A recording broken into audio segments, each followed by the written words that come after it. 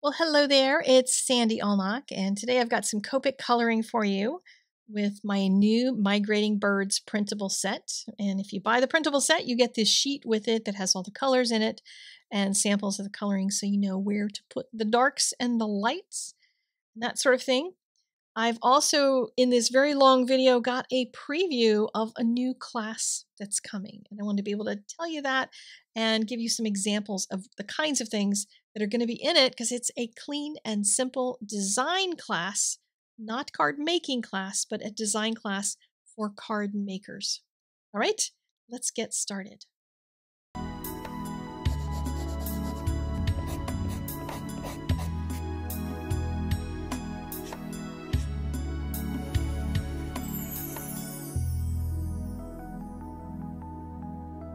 The migrating birds were created for the class because I needed something to use as a stamp set as a demonstration. They're not necessary for the class, but they are separate purchases, so you won't get the migrating birds if you buy the class, and you don't have to buy the class to get the migrating birds. So you can get the birds right now. They're over on the website, link in the doobly doo. So I made migrating birds. The blue heron is one that lives near me and I thought that would be a beautiful bird to do. I love the way their wings flap and the way they move when they're flying. This one comes from a view where the back wing is darker than the front wing. They both use the same colors, the C9, the C7, and the C5, but the back wing uses more of them and just uses the C5 to kind of blend them, except when you get to the forward part of the wing, and then you see more of the C5, but it's going to help to separate that the two wings from each other. Because when you start to color the front wing, then you can leave a little bit of the, the tips of the wings, like I'm doing here, and color the rest of the wing in, add as much as you want to to start doing the blending. And right when you get to the end, you can take the C5 or a a C2 and just run over it really quickly. So then you end up with what looks like lighter gray tips. So next up is the mallard. A couple color things on him. The beak is not a pure yellow, so I put a little gray over top of it. I used some brown to shade the orange feet. And the head is a shimmery green slash blue green, which doesn't equate to shadows, so don't worry about whether you're putting it in the right shadow places. It's just the whole head shimmers and shines with the two colors. And there is one spot on the back of each wing with a bit of blue with a stripe of white above and below it, but you only see it on one wing here. That big gray shape is actually the shadow of the wing, and it's going to create a really dramatic look on the bird because it's going to leave some white there. We're going to get rid of the rest of the white on the bird so that that body portion is the only part that looks white. He's got some brown underneath of that stripe below his head. And then I'm going to color most of the rest of the wing in the, the medium brown color. There's a whole bunch of colors when you look at a flying mallard. It's grays, it's browns, it's dark browns, it's light browns. It almost looks like there's a little bit of white in there too. There might be some white feathers in there. The underside of the wing is white. So the front wing, we're seeing more of the underside. On the back wing, we're just seeing the top side. So the front wing, though, is going to go gray because it's shaded, it's kind of hanging down. It's shaded by the, the tip of the, the wings. So then I'm going to color over all the white in the far wing with gray, just a very light gray, and then start to pull in dark colors from around the outside edges of some of those wings. So I start to get the definition of those feathers separated by the two dark dark brown colors into that medium brown and then into the gray. When you get to the back of the bird, it has to join up with the front. So he, he has that, the whole back side of him is, is that darkish brown. And then I'm going to blend some of those colors to sort of bring them together. And I decided at the very end, I wanted to just pull in a few strokes, very light strokes, across the whole wing. And that tied it together quite nicely. The sandhill crane is the easiest, basically, of, out of all these birds, I think, to color because it's a mostly white slash light gray bird with a red head. And so I'm using my very light C2 first. He's got dark feet, So I'm going to use the C7 for the dark feet and then to put some shading along the bottom, the C7 and the C5. And then the tips of the wings on the far side will have a little bit of dark on them. But this wing in the foreground, same thing as with the mallard duck, the, the wing is flying kind of out toward you, and it's hard to tell that from this particular angle unless you put the shadow on the body. So I've put another shadow coming straight down from the wings, which creates that, that difference between the body and the wing. The uh, little forward part of that wing stays a light gray. We'll add red onto the head.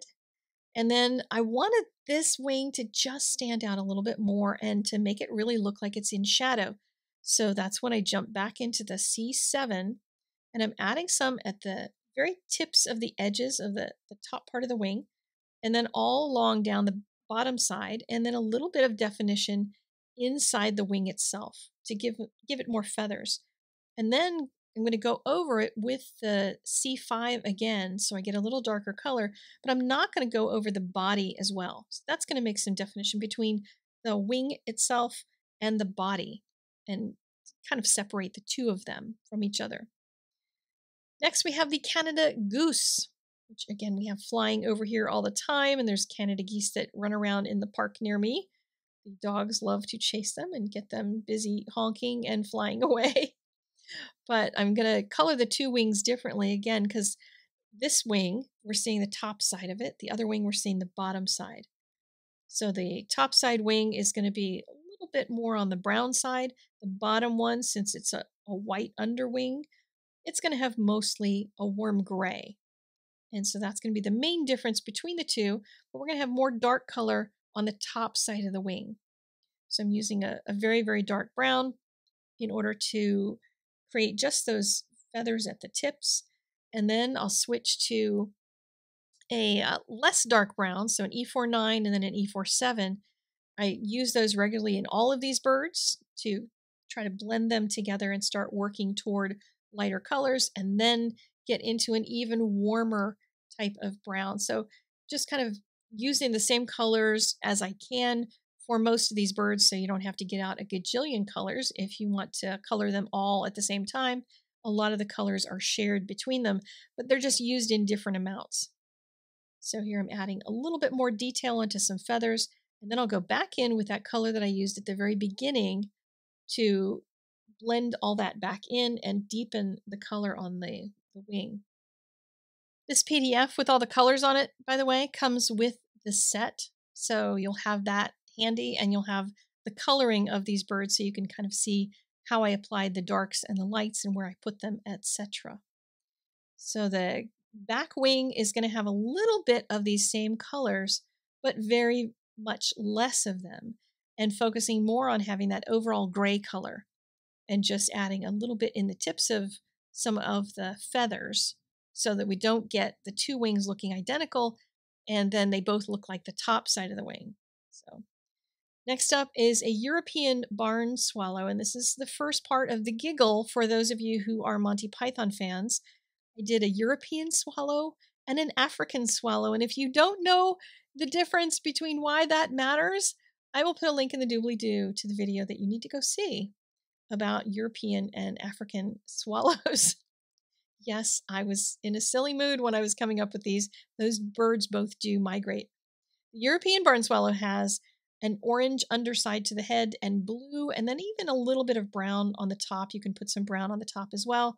The tail is very striking with those points and the very dark, dark browns on either side of that white stripe. And then I was trying to work out how to create some of the wing colors. The most of the wings on these birds are kind of a brownish color, but right close to the body, it's more orangey. And in order to create that orangey color without getting another Copic marker out, as I said, I was trying to limit the colors a little bit. I did some tip to tip.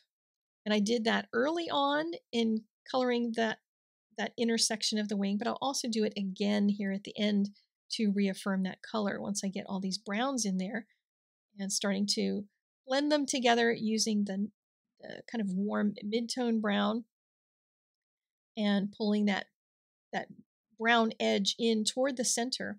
But here I go with the tip to tip again, the orange color used by touching the E42 to the YR15, and then I only get a little bit of that orange. It's not as orange as under his chin. Now the South African swallow has much less fancy color in him. It's more of a an overall brown bird with the, the wings, the head, and the, the tail. Even though the back of the tail is very dark, there's a kind of less dark brown section underneath of his feet toward the back end. So he's got just a white stripe around the body. And then when I was doing the drawing for the these uh, printables, I did try to put some of the lines in the places where you would want to have some of the dark colors. You can make these very plain. You can do very simple, straightforward blending and not draw in all the feathers. You certainly don't have to do that much because the lines that are there are going to carry some of that shading with them. So you could make just a very simple swash of one brown into another brown and they would still look quite beautiful. But here I'm adding a, the warm brown. You can see the difference between adding a warm brown to something when I start putting in this brown. There's like more of a reddish feel to it rather than that kind of sallow yellowish feel to the other browns that were there in the first place. Just going over it with a light color to sort of tie all of those little bits of brown feathers together. So that is the coloring of these six birds. You get the birds not only facing to the right, but you also get in the set facing left. So you get 12 birds, each one of them facing right and left, same drawing, just flipped. So you don't have to worry about flipping it. And you get this sheet along with it so that you can refer to these colors. And now for the class that I wanted to talk about clean and simple design for card makers. What I've done is taken an old card for each lesson, and sometimes I have two of them that I do in each lesson. Assess the old card, create a sketch from it, and then simplify it using principles of design, kind of in a two step phase. And I'm going to show you a demonstration of how I do that. But I look at these cards and I, I say, well, I didn't like this so much. I do like that. I would do this differently. And I kind of just give you an assessment of that old card. Some of them are really terrible. Some of them are kind of nice, like this one. But here I've redone it. I've kept the rectangle with the two rounded corners. I've kept the strip, but I've closed it up a little bit, made it smaller. I've changed the background paper to make it lighter in hopes that the image would stand out more. But when I colored the image, I didn't get much separation between the reeds and the duck. So I wanted to do something a little different there. But everything on here, all the shading that you see, that's all drawn on one flat piece of paper I didn't bother to just, you know, put together cards for each one of these. I've drawn all the elements. That's not what the class is about. I just wanted you to know that you're not going to see like pattern paper in there. You're going to see my rendition of pattern papers. But I'll kind of give you an idea of, of what that's going to look like in this next section of this video. But you're going to see some things that I like and some things that I don't in each of these phases. And I'm going to talk about why and why the principles of design are brought into those decisions. All right. So when I was starting to work on this, I decided I wanted to limit the colors. Again, I didn't want to have every color out. So I went for Pantone's set of colors. They came out, again, they do this every year. They came out with their new color for 2023, which happens to be R37. They call it Viva Magenta. And what you're seeing here, that pink block, I swiped from their website. It's really hard to see the difference in the colors, and these are actually closer than you would think they are because when something is on film versus with all that light from the RGB monitor behind it, everything looks different. But these are the colors that I matched as best as I could, and that's what I'm going to be using in the class. So they're very muted, very soft, pale colors. And when I realized the kinds of colors I was using for the birds, I thought these are going to go perfectly with it. I may or may not use very much of that red spot color. We'll see how that goes because I'm just in the uh, phase of getting all those designs uh, ready for the class, which I'm hoping will launch on Christmas, but we'll see. All right, so what I've done for the second version of this card is simplify the sketch. And I airbrushed in the background, which you could certainly do with inking or other techniques. You could do it with colored pencil, some powder color pencil. And I kept the vertical stripe. I really wanted that vertical stripe in there and I wanted to play down that rectangle. So I used just a very simple light gray to make that rectangle recede to the back, but also lift up that, that really light panel that I'm going to put the scene in. And the scene, I'm not going to just color it all in with massive colors like I did on the left. I'm going to use very soft colors. That's a W2 I'm using for the, the top part of the reeds. And then a YG91. Very, very light, very desaturated yellow-green color for the stems on the reeds and the grasses that are in there. That's going to help the duck to really pop forward because now I've got all these really soft colors behind it and the duck is going to take center stage because I wanted the happy bird day, which of course I got the sentiment from the card. I wanted that to stand out and I wanted the duck to be looking at it. Now, in mine that I've created, and you're going to get all these sketches in the class, in mine I've got gray lines because that's what I ended up printing so that I could make all of these. And I'm going to go over those with white to eliminate some of that because if you were just airbrushing that or inking it, you wouldn't have a gray line around everything. While I had the pen out, I decided to make a pattern on that gray paper, which lightens it. So if you choose a pattern paper that has a light pattern in it, it will lighten the effect of the whole paper. We'll talk about pattern paper in the class as well, and all different kinds of design decisions that we make as card makers. A bunch of the cards that I chose to to work on are ones that I over embellished. And the original card here had 12 little embellishments in that corner. I changed it to six in the left hand card, and now I've changed it to three. And I'm hoping that in this class, you're going to be able to see some progression and changes like that that will help you to see ways that you can simplify things and make your cards more modern and fresher than they might otherwise be. Because there's just tons and tons of tips that are coming at you in this class. The Clean and Simple Design for Card Makers class is going to be available on Christmas Day. And I'm launching it that day because I want you to take advantage of the sale that I'm having that day. It'll still be discounted until New Year's, but it won't be as big a discount as on Christmas Day. So make sure you go shopping that morning. And yeah, go get a couple other classes while there's a good discount going if you wish. And I will see you again very soon. I've got a special treat for you on Christmas Eve if you're around. If not, you can watch that after Christmas. And I will see you later. Take care and have a merry one if I don't see you before then.